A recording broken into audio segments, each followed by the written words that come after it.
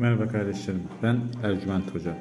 Bugün sizlere hayatımızdan giden birinin tekrar geri gelmesi için yapılacak olan işlemi anlatıyorum.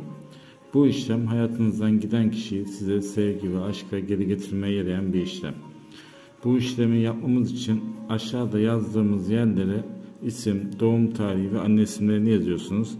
Üst kısma sizin alt kısma da yani üst kısma sizin alt kısma da karşı tarafın bilgilerini yazıyorsunuz.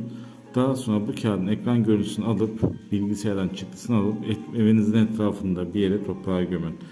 Bu işlemi yaptıktan sonra 20-25 günlük bir süreçte her şey tamamen yoluna girecektir. Bu arada ücretsiz bakım yaptırmak isteyen kardeşlerimize Ercüment Hocam Instagram kanalında şurada yazdığı gibi Ercüment Hocam Instagram kanalından bize ulaşırlarsa o kişilere ücretsiz yıldızlame bakımı yapabiliriz ve bizi takip etmeleri şartında yapıyoruz bakımı. Takip eden herkese bu bakımı yapıyoruz. Allah'a emanet olun. Kendinize iyi bakın. Merhaba değerli kardeşlerim. Ben Ercüment Hoca.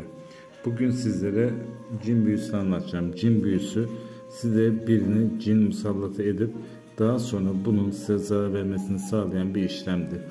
Bu işlemi ortadan kaldırmak için bu yazdığımız kağıda adınızı, doğum tarihinizi ve anne isminizi yazıyorsunuz. Daha sonra telefon ekran görüntüsü alıp bilgisayardan çıktısını alıp evinizin etrafında bir yere toprağa gömün.